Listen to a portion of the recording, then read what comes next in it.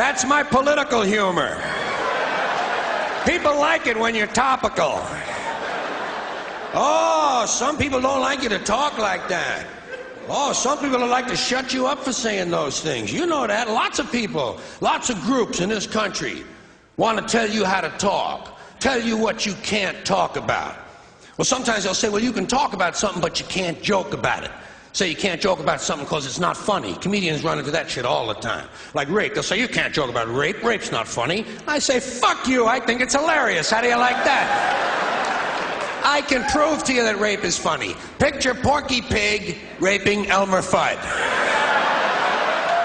See, hey, why do you think they call him Porky, huh? I know what you're to say. Elmer was asking for it. Elmer was coming on to Porky. Porky couldn't help himself. He got a hard on. He got horny. He lost control. He went out of his mind. A lot of men talk like that. A lot of men think that way. They think, they think it's the woman's fault. They like to blame the rape on the woman. Say, hey, she had it coming. She was wearing a short skirt.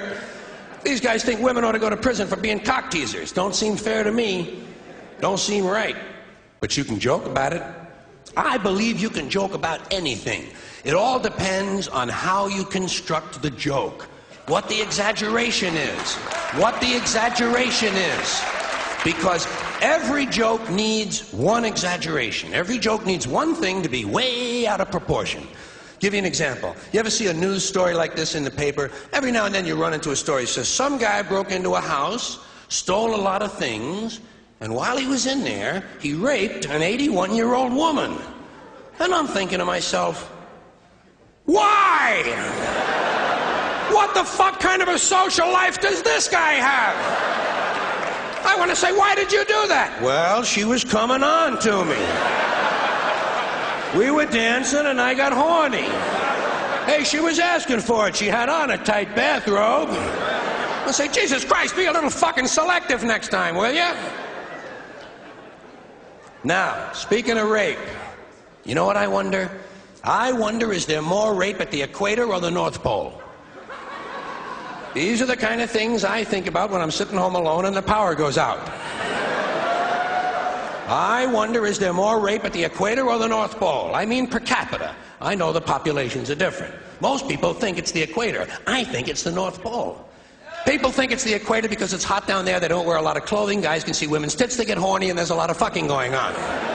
That's exactly why there's less rape at the equator, because there's a lot of fucking going on. You can tell there's a lot of fucking at the equator. Take a look at the population figures. Billions of people live near the equator. How many Eskimos we got? 30? 35? No one's getting laid at the North Pole. It's too fucking cold.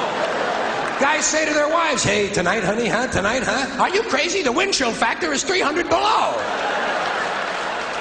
These guys are deprived, they're horny, they're pent up. Every now and then, they bust out, they gotta rape somebody. Now, the biggest problem an Eskimo rapist has trying to get wet leather leggings off a woman who's kicking. Did you ever try to get leather pants off of someone who doesn't want to take them off? You would lose your heart on in the process. Up at the North Pole, your dick would shrivel up like a stack of dimes.